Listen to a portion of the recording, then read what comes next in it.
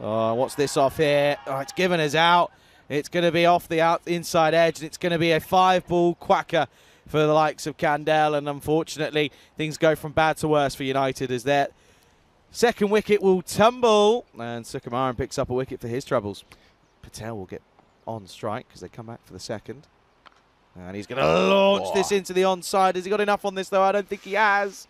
Oh, and it's a simple catch in the end, and it's a disappointing way to go for Patel. As well, he was trying to get going with things, it was in the area to hit, and unfortunately, he just gets more elevation than distance.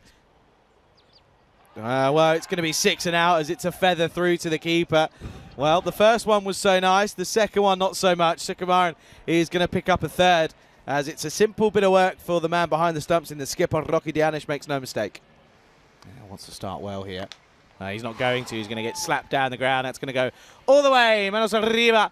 As that one is uh, high and mighty. Six runs. Slot and tonks away onto the leg side and gone a long old way uh, towards the tennis courts. That's a big hit from Sukumaran. And finally, for after what feels like an age and feels like an eternity, there's a maximum of the cards. Shot. Nicely slapped over extra cover. And there we go. There's the acceleration.